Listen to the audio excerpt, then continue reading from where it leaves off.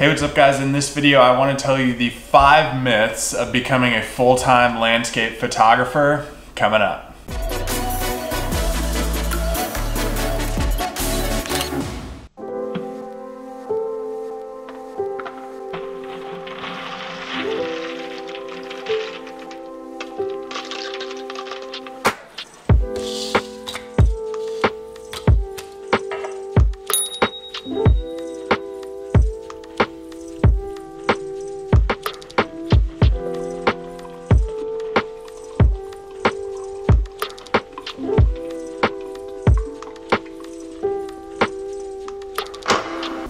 Coffee. So in this video, we're talking the five myths of becoming a full-time landscape photographer. I'm sure there are more, but these are like the most common questions I get asked about being a full-time landscape photographer and people coming to me and being like, how can I do what you do? How can I be a full-time landscape photographer and do what I love for a living? I think that's awesome. If that's where your mind is starting and you want to do something that you truly love and are passionate about, I think you should go for it 110%. It's what I did. It was really, really hard getting to this point, and it's still really, really hard getting to the point where I want to be because I don't think I'm there or even close yet. But the number one biggest myth that I always hear people tell me is like, it's so cool you get to go out and shoot photographs every single day simply not true. Like when people become full-time photographers, even landscape photographers, they're shocked by how much time they spend on other things beside taking photos. So this is like the business side of it, doing taxes, talking with clients. So many things go into running your own business and being like a contractor full time and freelancing your work to people as much as possible and being an entrepreneur and everything that surrounds that marketing, social media management, emails that you don't get to spend as much time as you think when you go out and, and you shoot. And it's not saying like I shoot more or less. I probably shoot a little bit more than I did when I was still working a day job and doing landscape photography on the side. But the fact that people think that you get to shoot like every single day, every sunrise, every sunset, simply not true.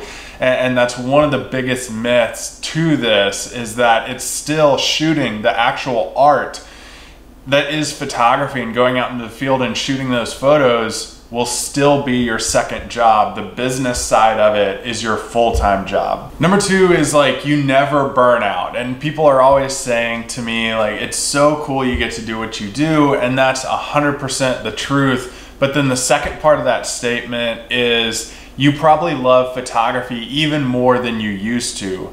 And sadly, that's not true because I suffer more burnout being a full-time landscape photographer than I did when I was just doing it for fun or on the side because when you're doing it for a job, you have to remember typically you're producing content for clients or typically you're going out and, and filming a YouTube video for a lot of people and all the work that goes into that and you're meeting deadlines and you're fighting to you know continue to have income month to month because you're an entrepreneur and you're doing this as your business. So you really have to think about like the joy that goes into it. And if you're just going out and shooting for fun, which I typically try to do like once a month with no cameras or anything around me, those are the most fun times. And it gets me back to when I was still doing it just for fun or on the side or just doing it for my own enjoyment typically I burn out way more and have to fight through that process way more being full time. And it's just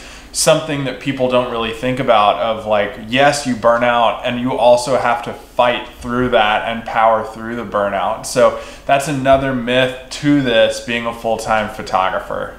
Number three, people always say it's so awesome that you're sponsored and you get all this free stuff in the mail. Not true. I buy all of my photography equipment and the stuff that is sent to me to try out or test out, I usually have to return about a month later. So thinking that you're gonna go full time and get a sponsorship and get all this free gear, simply another myth. Now, it's not a bad thing. It lets me continue to be 100% unbiased on the things that I'm purchasing because I'm not being told by a company of what to say about their products. I try to give 100% unbiased views and reviews on everything that I show you on this channel.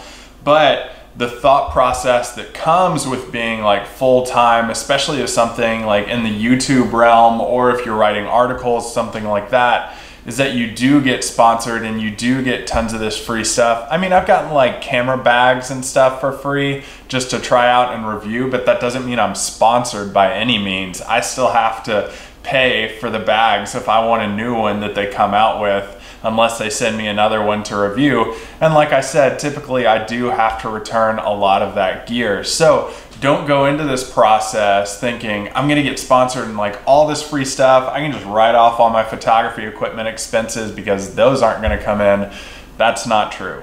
Number four is, oh man, you probably travel constantly and love it so much. And the fact is, I do typically travel once a month get out into the field and get into a new location.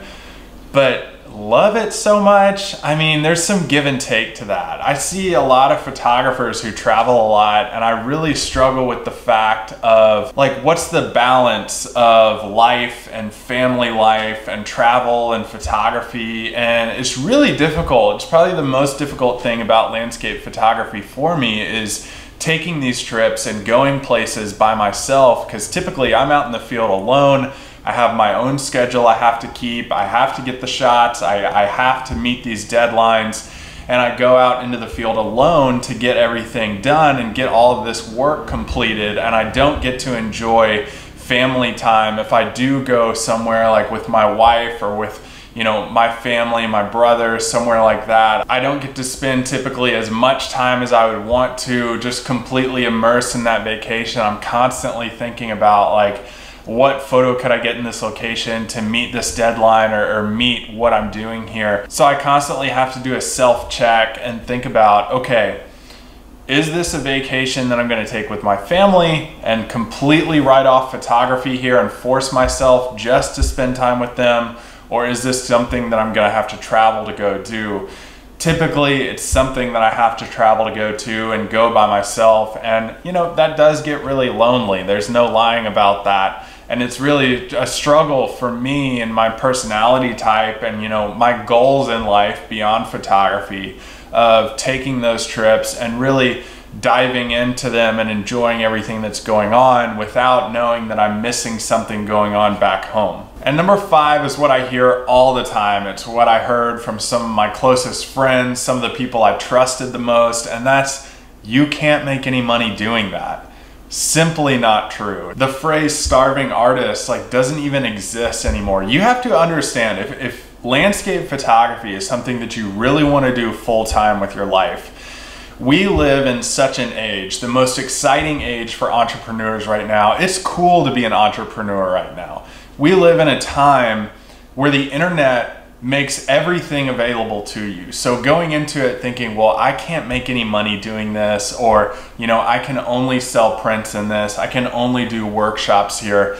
I, I want to tell you right now that's simply not true and it's not factual because there are so many opportunities with the internet and things that you can do problem solving wise of if you're struggling to make money switch and go this way. You don't have to do what every other landscape photographer is doing. Me i don't even do workshops. So like a lot of photographers make money doing that. I typically don't like it and don't enjoy everything that goes around it. So I don't like schedule my own workshops and do all that stuff and get people to sign up and all that. I typically go a different route and make money writing articles, making videos for people, doing things like that. And basically having online video be the main idea of my business model and having several outlets that go around that business model to help me bring in income with landscape photography.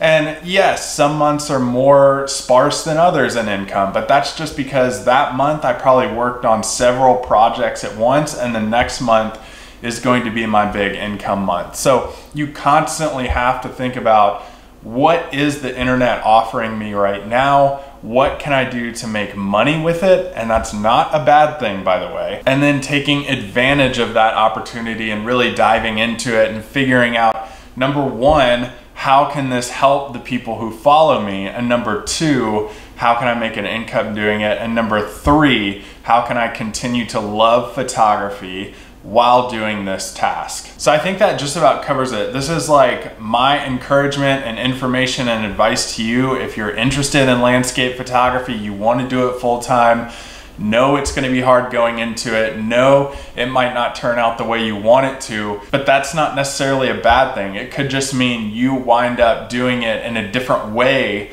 than you envisioned it from the start. So if you're interested in landscape photography, be sure to subscribe to this channel. Hey, if you want advice on becoming a full-time landscape photographer, leave a comment below in the comments section and I'll reply to those too.